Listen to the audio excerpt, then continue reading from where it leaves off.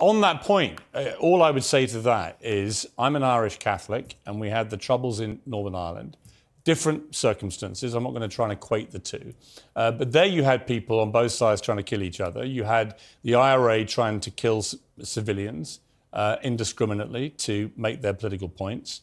And in the end, a peace deal was achieved, but it was achieved by people sitting down opposite people they knew had been killing civilians and killing people on their side. You even had the Queen meeting Martin McGuinness and Gerry Adams, who were the, uh, you know, in McGuinness's case, the former chief of staff of the IRA. He ordered some of the most appalling atrocities. The Queen, one of her own relatives, was blown to pieces, uh, Lord Mountbatten, by the IRA, but she still met with them.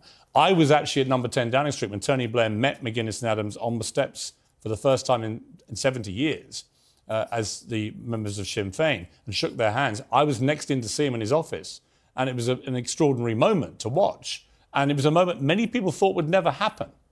Um, do you see any parallel there in terms of what could be achieved with Israel and Palestine? Only if the leadership changes. Only if the leadership changes on the Palestinian side. That is the only way that happens. And again, the, uh, the, the difference here is that the IRA had territorial ambitions. Hamas does not have territorial ambitions, they have genocidal ambitions. The Palestinian Authority has been offered multiple deals over multiple decades, and they've rejected, without counteroffers, virtually every deal they have ever been offered.